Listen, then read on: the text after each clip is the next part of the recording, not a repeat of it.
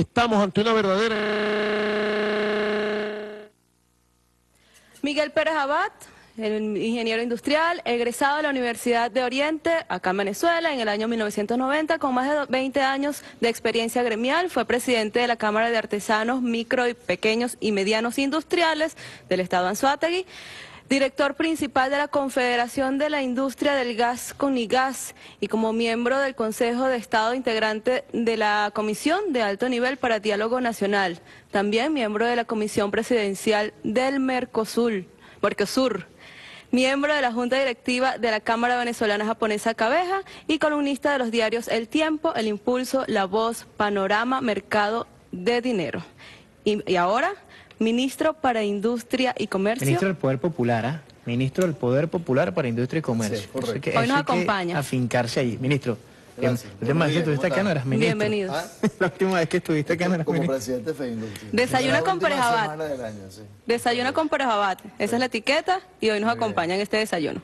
Ministro, bueno, mucha expectativa, lo decíamos antes del, inicio de esta entrevista, un gabinete económico. El presidente ha dicho, bueno, el viernes que viene vamos a presentar, de hecho, una propuesta de emergencia económica para evitar, nos decía Luis Alves la semana pasada, bueno, que esto se descalabre. Y usted ha venido advirtiendo, conversando, buscando impulsar la productividad. La respuesta es esa gente, primero, que tiene tanta expectativa, yo creo, muy positiva en este nuevo gabinete económico.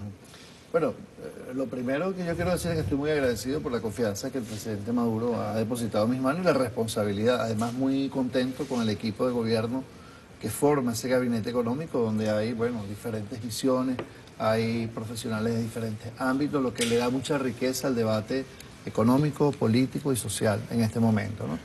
Eh, yo diría primero para hablarle al país que hay un diagnóstico muy certero de, bueno, del momento histórico que vive la nación. Estamos muy claros que cerramos un ciclo y que iniciamos otro en el desarrollo económico y productivo de la nación. Eh, el presidente ha señalado con mucha claridad que ha quedado en una etapa pasada la economía rentista del país y bueno, que tenemos que eh, orientar todo nuestro esfuerzo bueno, a uno de los más grandes retos de la economía nacional, del país, no solo del gobierno, quiero advertir eso, mm. no solo del gobierno, no solo de los empresarios, no solo de los trabajadores y trabajadoras, no solo de las universidades, sino de la sociedad entera, que es transformar eh, Venezuela en un país potencia, eh, desarrollar todas nuestras capacidades productivas, lograr la diversificación económica, que no solamente dependamos de la venta del aluminio, del acero y del petróleo, por ejemplo, que son materias primas, sino que agreguemos valor en el país, lo que significa que estamos entrando en una, nueva etapa eh, que este gabinete económico, bueno, va, a impulsar con mucha fuerza, que tiene que ver con una etapa del trabajo productivo, donde, bueno, la participación de diferentes expresiones productivas, de los consejos comunales, de las empresas de propiedad social, de las cooperativas, de las pequeñas, de las medianas, de las grandes industrias empresas del país, de las universidades, de los centros de investigación, de los creadores del país, los creadores populares. Yo agradezco mucho las personas, los compatriotas que a través del Twitter están presentando propuestas en de toda naturaleza para sustituir importaciones, para desarrollar alimentos en el país, para nuevas tecnologías de desarrollo de capacidades, para nuevos sistemas de distribución. Es, es increíble el potencial creativo y la cantidad de propuestas que el país tiene para enfrentar con éxito el reto que tenemos por delante. En este sentido, en, este sentido, ¿cuál es la importancia de los microempresarios y, de los pequeños, los pequeños industriales que están haciendo su trabajo de hormiguita y se le poco, se le colocan trabas o se le colocaban trabas para realizar sus trabajos e incluso para la exportación? Bueno, en, lo personal yo, yo he sido una persona muy comprometida con ese sector. Es decir, inclusive en Azuate hemos trabajado lo que llamamos los emprendedores sociales en comunidades que se organizan y nosotros le damos asistencia técnica y le damos soporte para obtener un, pequeño crédito que a veces es muy pequeño para que bueno puedan iniciar un proceso productivo de cualquier o un servicio que presten o inicien el comercio y eso es un potencial tremendo para el país.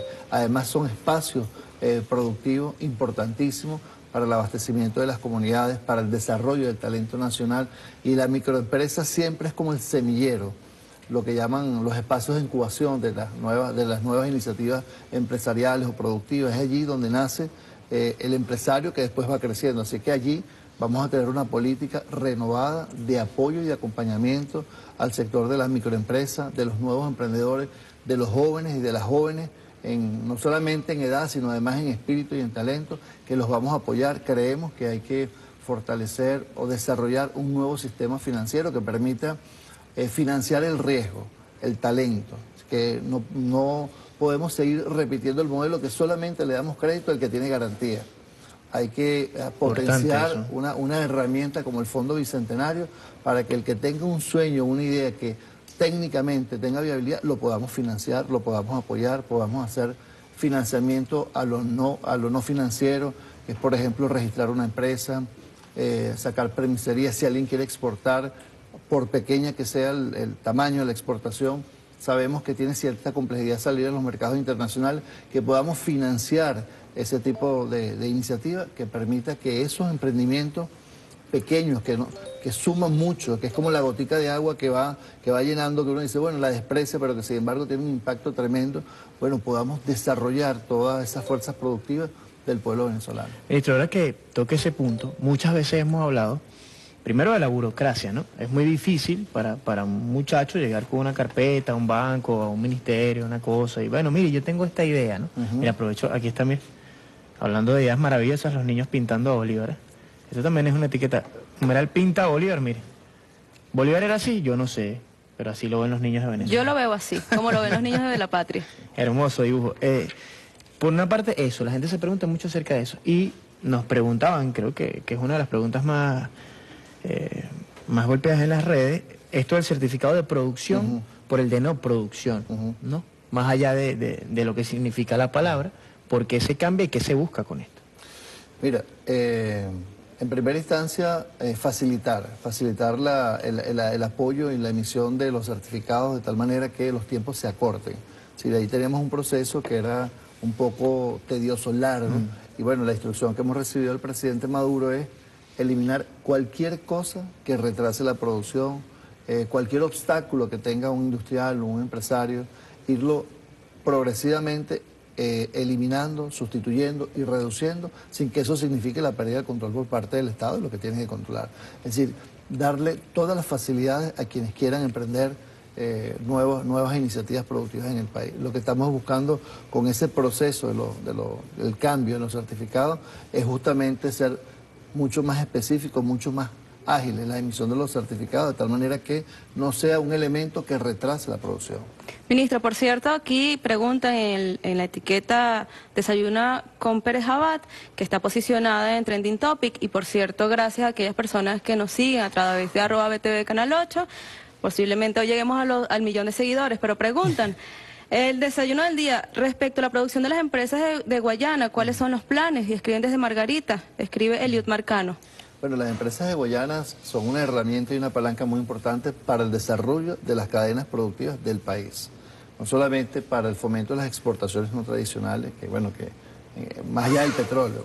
O sea, nosotros la visión que tenemos es utilizar las materias primas nacionales para que la industria nacional se desarrolle, dándole prioridad, respetando por supuesto la necesidad que tienen todas estas empresas muy importantes para el país, para que puedan eh, obtener divisas y puedan, bueno, eh, mantener sus líneas de producción produciendo y puedan eh, mejorar sus tecnologías. Nosotros vamos a estar el día, el día miércoles, vamos a ir a, Guayana, nos vamos a reunir con los miembros, los presidentes de las empresas básicas, vamos a ir también a un encuentro con trabajadores y trabajadoras y vamos a recuperar, oír, digamos, quienes son especialistas en el área, los proyectos y los planes que tengan allí eh, para mejorar el desempeño de las empresas de, las empresas de, Guayana. vamos a diseñar un, proyecto conjunto, eh, digamos un plan conjunto oyendo a los actores fundamentales. Mm, yo he visto una mirada rápida a las empresas, bueno, es que sean una palanca para el desarrollo de las cadenas productivas nacionales, los fabricantes del acero, eh, los que utilizan aluminio, que podamos agregar valor a toda la cadena, que sea una, que la podamos convertir a las empresas de Guayana en una ventaja eh, comparativa que tenemos allí para el desarrollo del valor agregado nacional, que eso significa empleo. Allí hay muchos productos que podemos eh, desarrollar en el país, pero además otras nuevas industrias que podemos eh, desarrollar en torno a esos insumos y esas materias primas que definitivamente hemos visto cómo son muy vulnerables, inclusive en los mercados internacionales. Estamos viendo lo que está pasando con el acero y la caída de los precios, pero que eh, desde el mismo momento que esos productos, que esos insumos se desarrollan en Venezuela, pierden esa vulnerabilidad. Así es que Guayana mm, yo la veo como la alternativa no petrolera para el desarrollo industrial de Venezuela. La zona de la faja que va justamente aguas abajo hacia ese sector de Guayana, yo he escuchado a Marco Torres hace algunos días hablando de bueno minería, de potencialidad, además de usarlo como una gran vía de transporte de mercancías, también bueno enfrentaríamos allí o le daríamos tal vez algún parado al tema del contrabando hacia la zona del Amazonas, del Alto Apure, del Nula, del Táchira, de, más arriba. Eh, esa era una pregunta que yo leía mucho esta mañana. Y la gente también se pregunta cómo está el ministro Pérez Abad en este desayuno con el sector privado, ministro. Porque creo que si todos coincidimos en algo, es que el, ese momento del tira y encoge, de la guerra entre el sector privado y el Estado debería terminar, ¿no? Bueno, eh, quiero contestarte eh, primero el tema de la, de la faja del Orinoco, me imagino que te estás refiriendo a ella. Ahí ya con PDVSA se adelantado unos, unos proyectos muy importantes, son alrededor de 22 empresas, industrias de capital mixto que se están, que se están poniendo en marcha, que es para sustituir importaciones. El PDVSA sigue siendo uno de los más grandes compradores, si no es el más grande, más gran, más grande comprador del país. Eh, lo que estamos es desarrollando cadenas productivas en torno al sector petrolero. Es decir, que en vez de importar eh, tuberías, cabilla petrolera, este, eh, válvulas, las podamos, bueno, un poco el plan Siembra Petrolera apunta en esa dirección. Y ese es la, digamos, el vértice que el presidente nos ha instruido, que justamente en torno a todas esas ventajas que tenemos con el uso de la energía, el acceso a la energía económica y el desarrollo petrolero podamos agregar valor en el país. Eso para que lo podamos entender, son muchas fábricas instaladas sustituyendo importaciones y eh, produciendo en el país, generando empleo estable y bien remunerado, logrando la soberanía eh, tecnológica y la soberanía productiva, que es muy importante. por ejemplo, la industria petrolera depende mucho de tecnologías extranjeras, pero por ejemplo, tenemos gente que tiene capacidad para desarrollar en el país pues taladros, eh, que tiene tecnologías en el área química, por ejemplo. Eh, para sustituir importaciones. Así Además de un altísimo nivel técnico, ¿no? Tenemos una... Se va, mucho al extranjero. Lo que, lo que tenemos es que acercar a todos eh, esos inventores, desarrolladores de tecnología nacional al desarrollo petrolero y esa es parte de la, del reto que tenemos por delante. Allí tenemos una, un trabajo desarrollado que, lo, bueno, que, que nos va a dar resultados muy pronto. Ya tenemos una primera planta, una primera fábrica industrial de una empresa mixta que está instalada, que la terminamos y que está por inaugurársela. Estamos esperando que el presidente Maduro nos diga cuándo puede ir, pero la hace ocho meses que comenzamos con ese programa y ya tenemos la primera fábrica lista. Esperamos en los próximos meses ir inaugurando industrias para que el país, todo el país, vea que a pesar de que hay un, un país virtual que señala que, bueno, que no hay inversiones, que los empresarios se están yendo, que no es verdad, nosotros vamos a mostrar todos los días cómo es que muchos millones de venezolanos y venezolanas están produciendo en el país y están invirtiendo para el desarrollo industrial de Venezuela. Y sobre todo la, traer las divisas que para, para así poder diversificar la economía y poder también eh, sustituir ese, ese faltante que está de tanto de gobierno inyectar dinero al capital la privado. pregunta eso, ¿no? ¿Qué pasó con las divisas que ya se entregaron o qué va a pasar? Bueno, eh, nosotros estamos en el caso que los compete, elaborando un presupuesto de divisas, afinándolo, porque, a ver, aprovecho esa oportunidad que ustedes me dan para explicarle al país que hay un tema que tenemos que mm, eh, validar con mucha fuerza. El país ha reducido sus ingresos en divisas más del 80%. Entonces, 80%. Imagínense que usted ganaba 10 mil bolívares al mes y ahora le dicen a partir de mañana que usted va a ganar 2 mil bolívares. Es muy difícil, imposible, que eso no tenga efecto sobre la economía doméstica en este caso o el hogar. O sea, hay que inventarse una para poder enfrentar el reto de la caída de nuestro principal ingreso, eh, digamos, en divisa y, bueno, el principal ingreso del Estado. Y eso nos obliga a hablarle a la gente con la verdad, al país con la verdad, y yo creo que eso es muy importante, a los empresarios decirles, mire, o sea, usted tiene que hacer, los que necesiten divisa, los estrictamente necesarios, tienen que hacer un uso absolutamente transparente de las divisas y el que pueda tiene que ver cómo se va a resolver, cómo va a buscar alternativas, proveedores nacionales, sustituir componentes. Eh, a lo mejor va a haber algún sacrificio productivo como reducir el número eh, no el volumen, pero sí a lo mejor la cantidad de productos que puedan, lo que llamamos nosotros el tipo de producto y bueno, concentrarse en los más, eh, los más importantes para el país. Si tenemos el aparato productivo, ya empezamos en el año 2015, está sufriendo una metamorfosis obligatoria, porque bueno, no hay, o sea, si miramos las asignaciones de divisas del año 2012, 2013, 2014 versus las de 2015, vemos que hay una asignación menor, muy, mucho menor de divisas, lo que ha obligado a los industriales nacionales, bueno, como decimos en criollo, a inventársela, a crear, a buscar tecnólogos. A emprender, ¿no? A emprender, es correcto. Y eso, aunque parezca malo, por decirlo de alguna manera, es una, un, increíble detonante para las fuerzas productivas del país.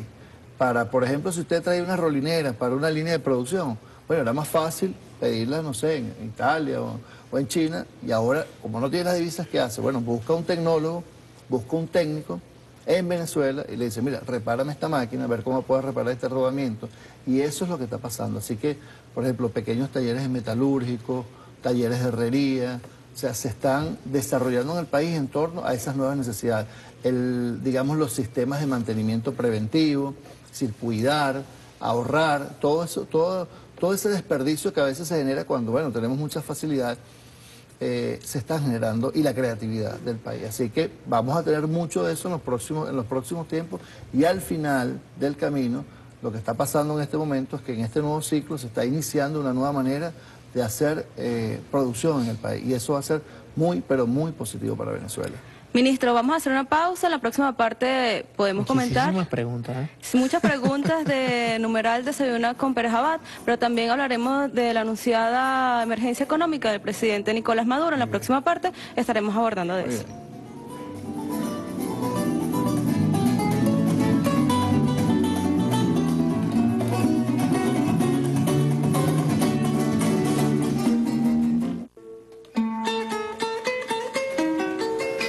Gamboa.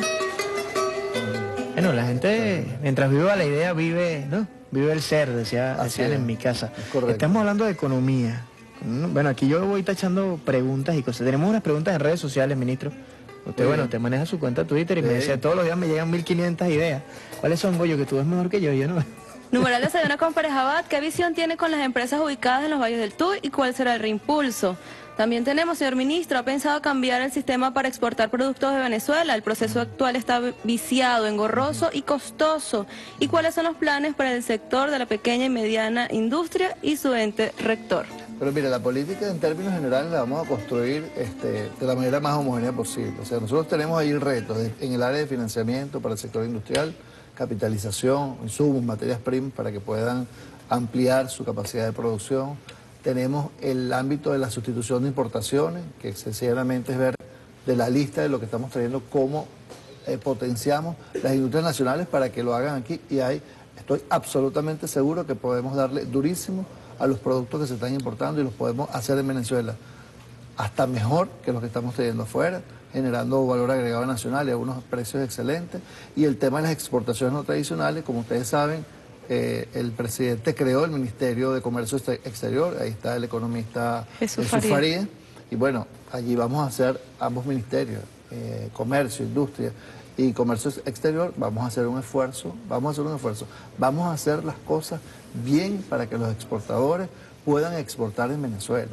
El Caribe, Nordeste de Brasil fundamentalmente, que son, nuestros, mercados mm. naturales gigantescos, donde tenemos productos eh, de calidad en todos los ámbitos, no solamente en el sector alimenticio, insumos para la construcción, eh, productos metalúrgicos y metalmecánicos. En, el sector autopartes también tenemos una, plataforma inmensa en Venezuela, una experiencia de pequeñas y medianas industrias que producen piezas y partes para la industria automotriz. La misma industria automotriz es una tremenda palanca para las exportaciones. Nosotros lo tenemos todo. Lo que vamos a hacer en el ámbito de las competencias del Estado es bueno, eliminar cualquier obstáculo o barrera y estar muy pendiente, el monitoreo permanente.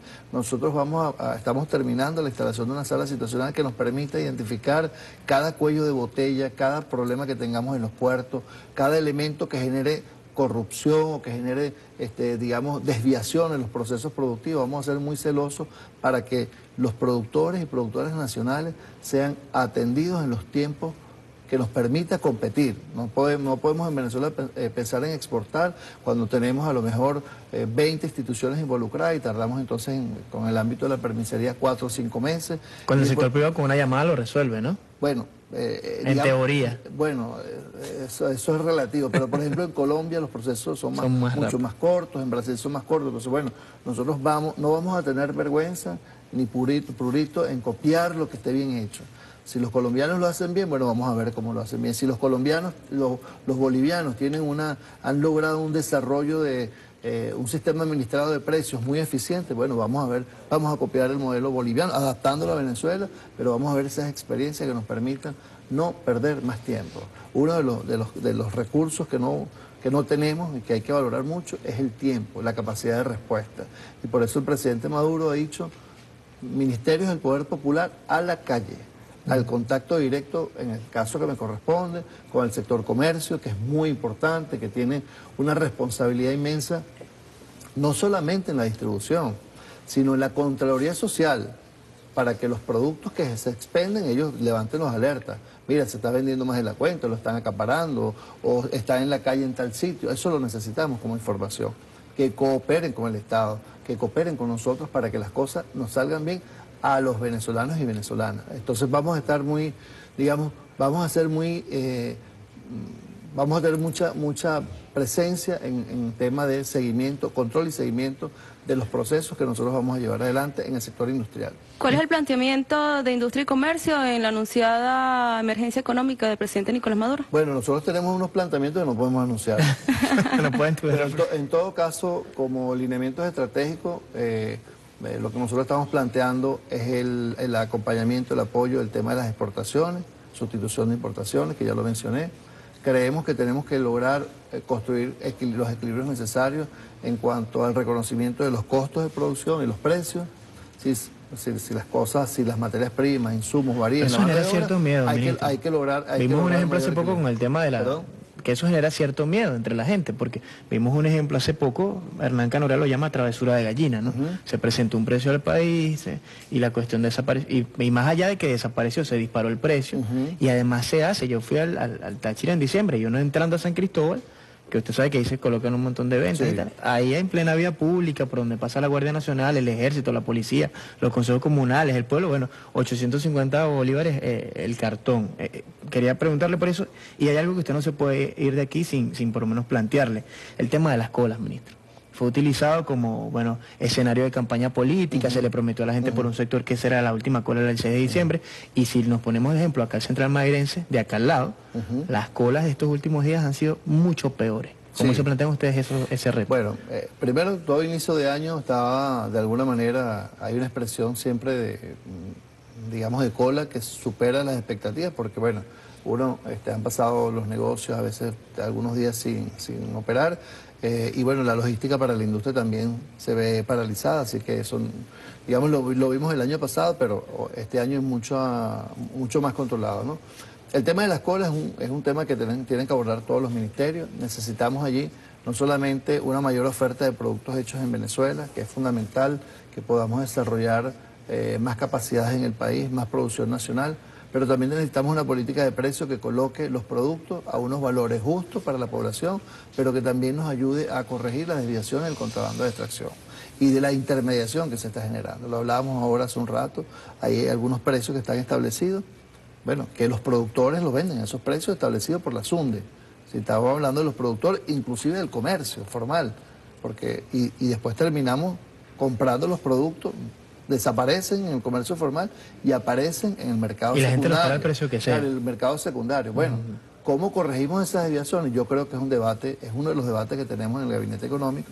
¿Cómo construir ese equilibrio en el cual, sin deteriorar el poder de compra de los venezolanos y venezolanos, colocamos una política de precios que nos permita salvaguardar la producción nacional, así que podamos cubrir los costos de producción, tanto las empresas privadas como públicas, pero que podamos ofertar los productos que necesita el país.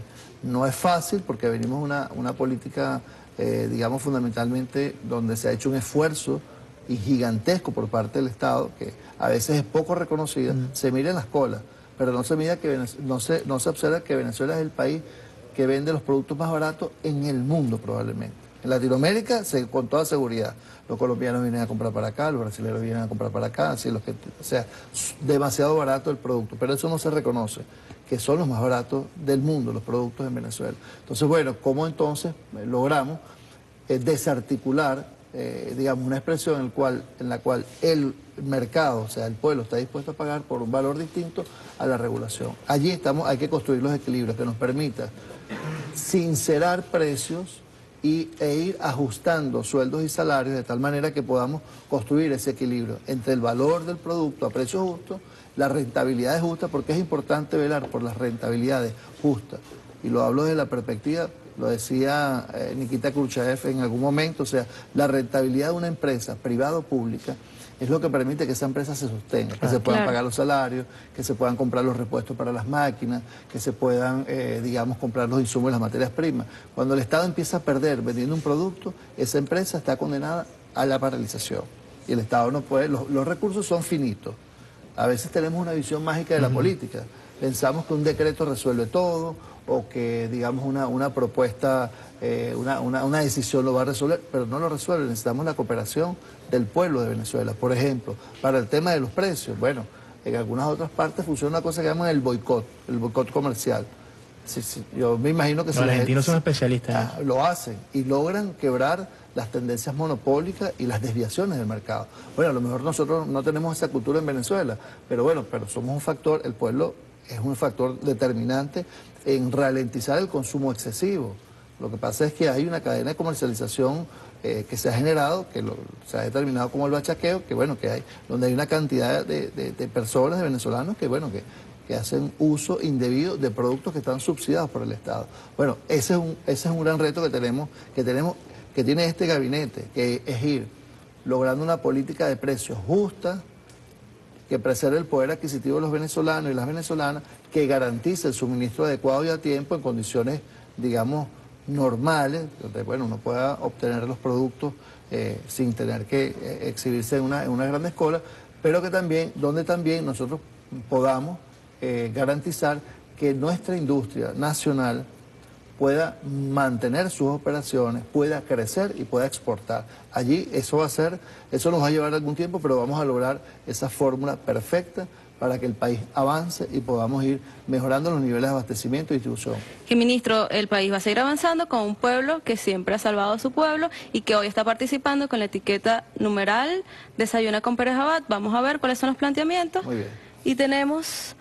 Obreros tienen propuestas de producción y distribución en Alianza Obrero Campesino Comunal. ¿Cuándo puede recibirlos?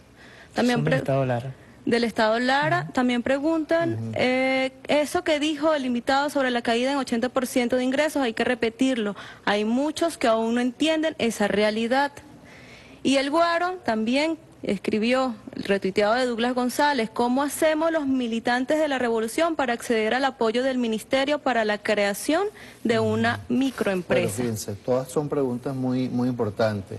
Nosotros estamos recibiendo, y yo lo he manifestado por Twitter, todas las solicitudes, eh, todas las inquietudes, todas las vamos a responder, todas las vamos a resolver.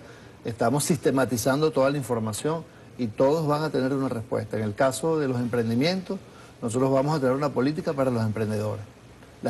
La, estamos terminando de diseñar, estamos eh, mirando los recursos que requerimos, pero vamos a tener una política para esos emprendimientos para el país. Y vamos, a, si, necesitamos recursos, iré allá donde el, comandante Maduro, el, presidente, necesitamos que nos apoye para, bueno, para que muchos venezolanos y venezolanas emprendan, porque yo sí creo que allí está parte de la solución del mejoramiento, no solamente de los niveles de abastecimiento, sino en términos generales del buen vivir de los venezolanos. Estamos en una etapa de trabajo, lo que viene es trabajo, trabajo, producción, trabajo y producción y allí nos vamos a encontrar todos, los creativos, los universitarios, este, los, artesanos, y tenemos por delante la construcción de un, país productivo y eso lo vamos a hacer entre todos. No pueden dejar solo al gobierno bolivariano, al presidente Maduro, ni a nosotros, a los ministros las ministras. Nosotros tenemos una gran responsabilidad y la vamos a cumplir. Así que en el caso de los emprendedores, van a tener, eh, digamos, todos los que tengan proyectos, iniciativas, bueno, a través de la página del ministerio pueden hacer su solicitud,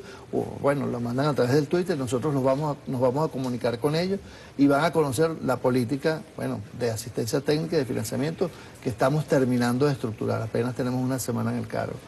Para el caso de quienes tengan otro tipo de propuestas, pues la misma vía, que estamos, vamos a estar muy pendientes todo el tiempo, 24 horas al día, y vamos además a estar en la calle. Nosotros vamos esta semana, vamos a estar en, en allí vamos a visitar unos parques industriales que están en construcción con el alcalde, el gobernador.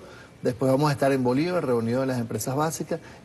En Anzuategui vamos a tener una gran asamblea del Poder Popular para las fuerzas productivas, donde nos vamos a reunir con los consejos comunales, con los emprendedores, para oírlo y para que ellos oigan también los planteamientos que nosotros les llevamos, la política que el presidente Maduro quiere acercar y lo mismo vamos a hacer en el Estado Bolívar. Así que en cada acción que vayamos, en cada actuación que hagamos, vamos a hacerlo siempre acompañado del Poder Popular. Muchas gracias, ministro. ¿eh? Gracias a ustedes. además, Por, esta apertura, ¿no? La gente critica mucho, bueno, el tema económico parece que se silencia mucho y si es el tema que a todos nos toca, porque lo cierto es que a todos nos toca, es el principal tema. Muchas gracias por esta no, gracias a ustedes por la invitación y bueno, estamos a la orden y bueno, todo el empeño de este nuevo gabinete eh, por sacar al país adelante con el apoyo del pueblo de Venezuela. Muchísimas gracias y hacemos una pausa. En la próxima parte estaremos viendo nuestros desayunos.